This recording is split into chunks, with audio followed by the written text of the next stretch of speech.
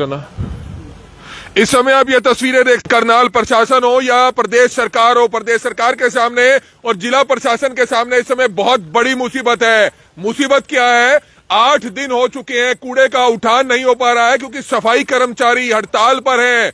लगातार प्रशासन जब भी कूड़ा उठाने की कोशिश करता है प्राइवेट कर्मचारियों को बुलाकर। तो सफ़ाई कर्मचारी जो हड़ताल पर है, वो उसका विरोध करते हैं। इस समय करनाल के मेरठ रोड पर हम मौजूद है के आर सिनेमा के नज़दीक, जो एक यहाँ पर नगर निगम का एक स्टोर बनाया हुआ है, जहाँ पर प्रशासन कई दिनों से, दो तीन दिन से कूड़ा यहाँ पर स्टोर कर रहा था। यहाँ से भी बताया जा रहा है कि जो सफ़ाई कर्मचारी कुछ विरोध कर रहे थे, उनको हिरासत में लिया गया है। और दूसरा, करनाल के सेक्टर छह के बैक साइड का इलाका गुरुद्वारे के पास, जहाँ पर कूड़ा वहाँ भी जमा था, वहाँ से भी कुछ कर्मचारियों को जो है पुलिस अपने साथ लेकर गई है। लेकिन सबसे बड़ा सवाल है कि आखिरकार प्रशासन को सिस्टम संभालने के लिए शहर में गंदगी ना फैले, बीमारी ना फैले, उसके लिए कहीं ना कहीं कोई इंतज़ाम ज़रूर करना था। लेकिन आज हम आपको बताना चाहेंगे, प्रशासन ने कड़ा रुख अपनाया है और बड़ी, कड़ी संख्या में पुलिस बल यहाँ पर मौजूद है। कुछ कर्मचारी हमारे साथ मौजूद है, जिनको इस समय पुलिस हिरासत में लेकर जाया गया। क्या कुछ बताना चाहेंगे? कहाँ से आपको लिया गया और क्या कहेंगे?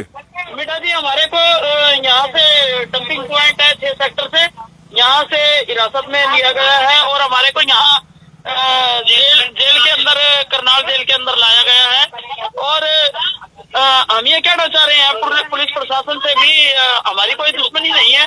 ये अपनी ड्यूटी कर रहे हैं और हम अपनी ड्यूटी कर रहे हैं। ये अपनी आ, हम अपनी रोजी रोटी के लिए अपना अगर जेल तो क्या अगर अपना सर तक कलम करवाना पड़े तो आप करवाएँगे कोई दिक्कत नहीं। लेकिन आपको लगता है कि कहीं ना कहीं परेशानी इतनी ज़्यादा बढ़ती हुई नज़र आ रही थी जगह जगह कूड़े में आग लगाई जा रही थी और उससे कहीं ना कहीं शहर के लोगों का जो है दम घुट रहा था। आपको लगता है कि कहीं ना कहीं हड़ताल को कहीं ना कहीं आपको लोगों को समाप्त कर देना चाहिए? वासियों के दम घुटने का ख्याल है। क्या हमारा ख्याल किसी को नहीं है? सीएम साहब अभी अभी जस्ट अभी दो तीन दो दो दिन में यहाँ से होके गए हैं दिवाली पर्व यहाँ मना के गए। क्या उनको सफ़ाई कर्मचारियों का नहीं पता लगा? उनको ये नहीं पता लगा कि ये इनके घर में भी बच्चे होंगे इनके घर में भी त्योहार होगा इनके घर में भी दिवाली होगी। हमारे को भी परेशानी का सामना करना पड़ रहा है तो क्यों नहीं हमारी सुनते? नहीं बिल्कुल कहीं कहीं ना कहीं आपकी मांगे भी जायज़ हो सकती है लेकिन आपको लगता है कि कोई और विकल्प अपनाया जा सकता है कोई और रास्ता अपनाया जा सकता है। नहीं विकल्प तो हम हम ये कह रहे हैं कि शहर की सफ़ाई आज भी हमने करनी और हमने करनी। ये स्वच्छ भारत और स्वस्थ भारत हमने बनाया है बेटा जी ना कि किसी और ने। नहीं आपकी आपकी बात बिल्कुल ठीक है लेकिन एक सवाल सिर्फ़ ये पूछना चाहेंगे कि आप आप अपना आप अपना प्रोटेस्ट आप को ना देखते हुए हमारे साथ जो ये दुर्व्यवहार हो रहा है ये जो प्रशासन हमारे साथ सरकार हमारे साथ जो ये कर रही है। हम ये बताना चाह रहे हैं सरकार को।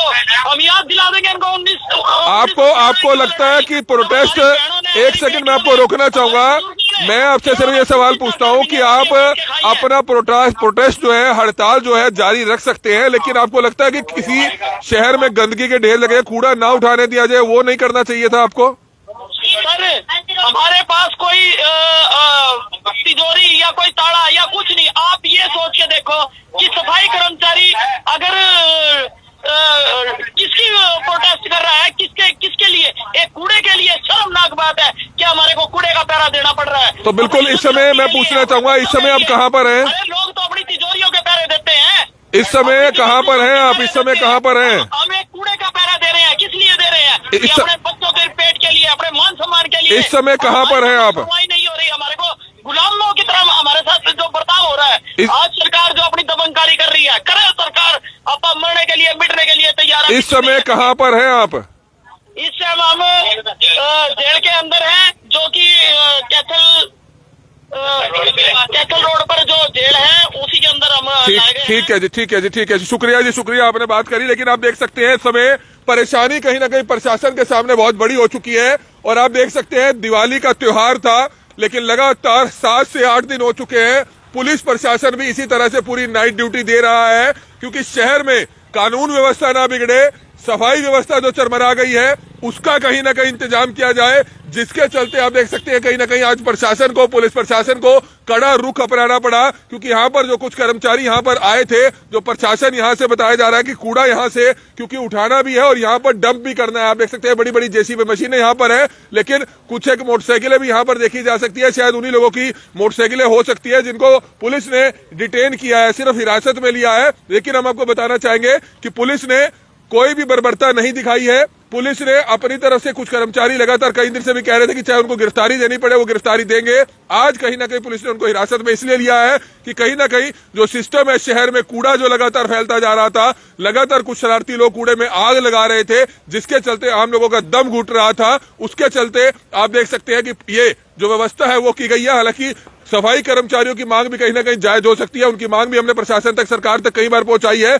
लेकिन आप देख सकते हैं, शहर में सिस्टम जो है काफ़ी ज़्यादा खराब हो चुका था, क्योंकि आठ दिन हो चुके हैं सफ़ाई कर्मचारियों की जो हड़ताल है, लगातार जारी है। आप देख सकते हैं, पुलिस प्रशासन इस समय एहतियात के मद्देनजर पूरी तरह से यहाँ पर तैनात है, जिसमें थाना एसएचओ मौके पर मौजूद है, जो नगर निगम के अधिकारी हैं, वो यहाँ पर मौजूद है। आप देख सकते हैं, नगर निगम के जो अधिकारी हैं, वो अधिकारी भी यहाँ पर पहुँचे हुए हैं। पुलिस भी अपनी तरफ़ से लॉ एंड ऑर्डर मेंटेन करने के लिए यहाँ पर तैनात की गई है, और इस समय आप देख सकते हैं जो डीएमसी साहब है, वो भी यहाँ पर मौजूद है। तो नगर निगम की जो तमाम गाड़ियाँ हैं, वो भी कहीं ना कहीं अपनी तरफ़ से लगातार पिछले कई दिनों से शहर में कूड़ा और जो सफ़ाई व्यवस्था सरबराई हुई है, उसको सही करने के लिए अपनी तरफ़ से हर संभव कोशिश ज़रूर कर रही है। क्योंकि प्रशासन का काम होता है कि जब भी कभी शहर में इस तरह की व्यवस्था खराब होती है तो उसको चाहे सख्ती से निपटना पड़े, सख्ती से निपटा जाएगा, लेकिन कहीं ना कहीं जो सिस्टम था, वो बहुत ज़्यादा खराब हो चुका था। दिवाली लोगों ने इसी तरह से गंदगी में मनाई, और अब आप देख सकते हैं, लगातार आठ दिन हो चुके हैं।